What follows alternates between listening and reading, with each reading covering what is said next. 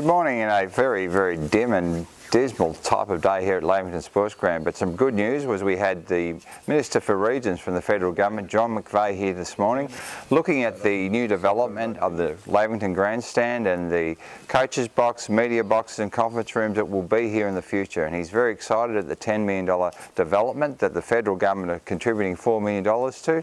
And we look forward to other improvements and he's encouraged us to apply for funding for new lighting here, which is something we have considered in the past and we'll see if it's in our 21st century future. So we'll keep you posted and stay tuned for the next Mayor's message.